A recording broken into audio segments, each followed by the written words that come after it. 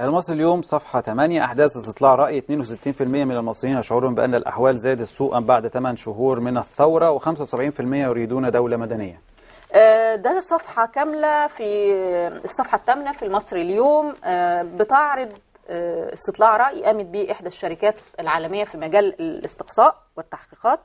الحقيقة الأرقام اللي بيقولها م، أرقام أنا بشوفها يعني معبرة عن الحال وإن كان في حاجات طبعا إيه هتختلف معها وتتفق لأنه قد تكون النسبة آه، يعني بتعبر عن نفسها بشكل أو بآخر. يعني مثلا آه، إذا كان في 29 بس قلقون على المستقبل أعتقد أن كل مصري قلقان على المستقبل دلوقتي 29% ده عدد قليل قوي.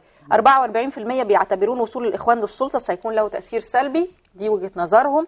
آه، 56% بيعانون من ارتفاع الأسعار وأعتقد أن ده كان أهم عنصر في ال- ال- التقرير اللي اتعمل أنه بالفعل المصريين مش معترضين قوي على الثورة وإن كانت نسبة قلت النسبة من 80% ل 60% يعني معنى دعمها لكن أغلبهم بيقول طب لو الحال استمر على كده من ارتفاع أسعار لو الحال استمر على كده من آه، سقوط المسألة الأمنية وهيبة الدولة هنوصل لفين؟ ولو أعتقد- استمر كده برضو إن إحنا بنفقد من ال ال ال ال النقد بتاعنا أو الاحتياطي بتاعنا النقدي هيحصل إيه؟ خلينا خلينا نكون إيجابيين وندعو وإن كنت يعني أعتقد إن هم بيعملوا ده بالفعل ندعو آه، أعضاء المجلس العسكري ال 19 لقراءة هذا الاستطلاع الذي يعني يعكس خلينا نقول آه، نسبة كبيرة من خبر الشارع. هام من الأهرام صفحة أولى تعليق عضوية سوريا بالجامعة العربية ودعوة المعارضة السورية لتنسيق المواقف ومطالبة الجيش بعدم التورط في العنف.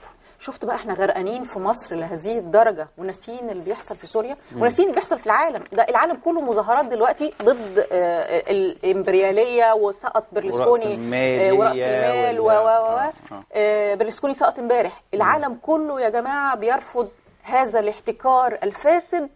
لحياة البشر. نعم. جزء من آه، هذا الاحتكار الفاسد لحياة البشر بيحصل في سوريا دلوقتي.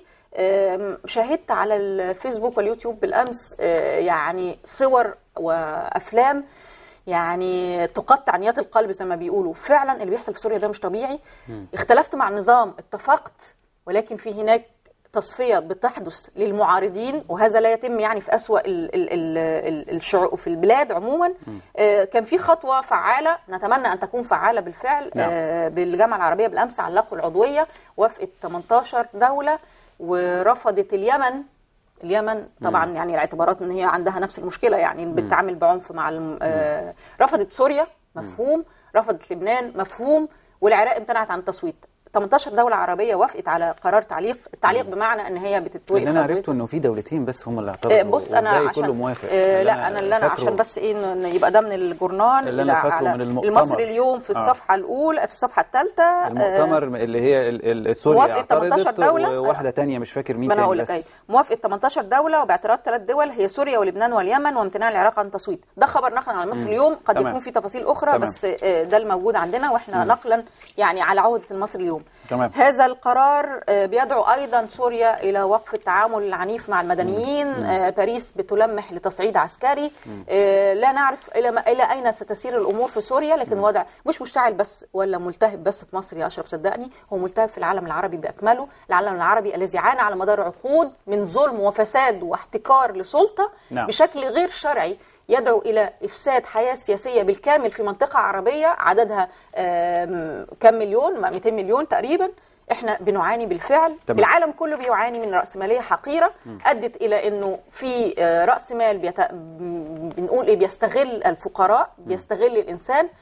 أوروبا كلها قايمه لندن آه، مظاهرات أمريكا كل حتة في كل آه، حتة في على أمريكا فكرة بقى، في كل حاجة حتة. في حاجة حصل عليها تعتيم إعلامي وده اشارت ليه سحر الموجي في مقالها في مصر اليوم حاجة. صغيرة سريعاً. جدا.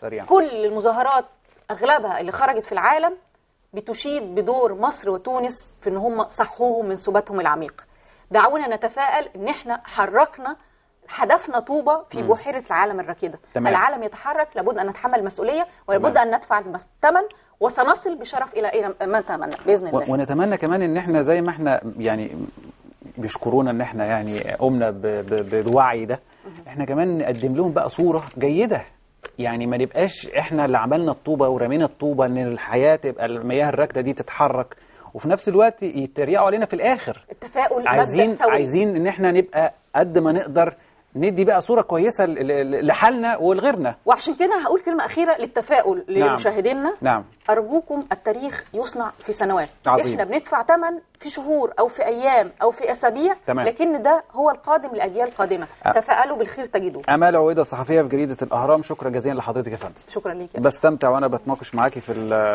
في الصحافة مع إني ما اتكلمتش كتير النهارده وسبتك تتكلمي براحتك. آه، عموما اللي عايز يتفرج على الفقره يشوف الحلقة وهيلاقي أشرف اتكلم والله. مشاهدي نهارك سعيد. آه، الفقرة الجاية آه، صاحب فكرة مشروع الممر الأفريقي. ممر مشروع جميل جدا ممكن يربط آه، مصر بدول أفريقيا ويبقى فيه تنمية بشكل كبير جدا مع زميلي فادي الفقرة الجاية نهاركم. دايما سعيد.